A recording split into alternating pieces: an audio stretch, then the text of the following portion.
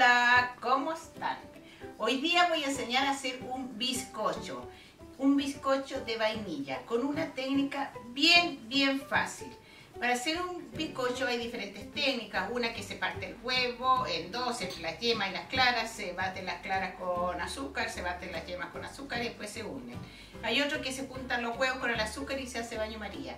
Y ahí yo lo voy a enseñar el más fácil, que es simplemente juntar los huevos con azúcar, batir, batir, batir, hasta que quede punto letra y luego se agrega la harina. Para hacer el bizcocho entonces necesitamos huevos enteros, harina, azúcar y vainilla.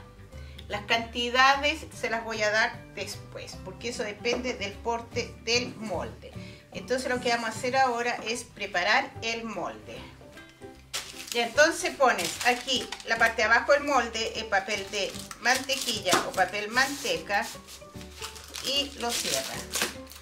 Igualmente yo le pongo a todo alrededor un papel mantequilla y luego le voy a poner aceite. Ahí está. Entonces preparé bien el molde, le puse papel mantequilla ahí, lo pegué y le puse el antiadherente. Ahora empezamos a batir.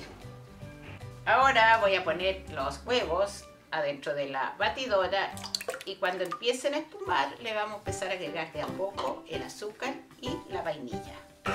Y ahora que está espumando los huevitos, le vamos a agregar de a poco el azúcar.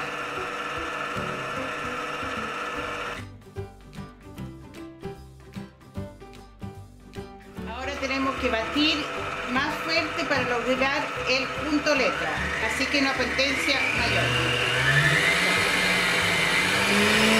Ahora agregamos la vainilla. Esto está listo, ¿viste? Está punto letra.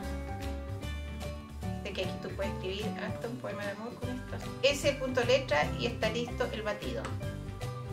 Ahora lo voy a agregar en un bol aparte para agregar la harina, porque la harina nunca se agrega con la batidora. Ahora voy a ir agregando harina. esta harina ya está cernida. Hay que cernir la harina en esto porque le da aire al cernirla. Y lo vuelvo a cernir nuevamente para que no caiga de golpe. Entonces voy, voy a cernir la harina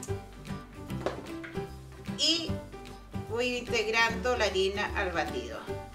Ya, ahora vas a ver bien que no te vayan a quedar nada de harina porque a veces queda en el fondo harina cuando hayas logrado eso, ¿viste? Ahí quedó harina. Entonces tienes que ver bien eso.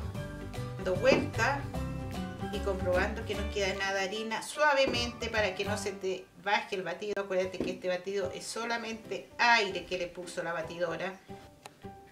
Ya, está listo mi molde y ahora lo voy a llevar a un horno de 180 grados y yo le voy a decir cuánto tiempo. Este ya está listo. ¿Cómo te das cuenta que está listo? Que tú pones un palito al medio y sale seco. Alrededor está despegándose. Estuvo 45 minutos en el horno. Tienes que dejarlo 10 minutos en el molde y luego sacarlo. Ya, ahora está listo nuestro bizcocho. Yo lo voy a partir en dos porque eh, va a ser para torta tres leches. Pero si quieres hacer otra torta, la partes en tres. Entonces lo partes y ya lo, ya lo partí y aquí está nuestro bizcochito, bien esponjoso, bien rico.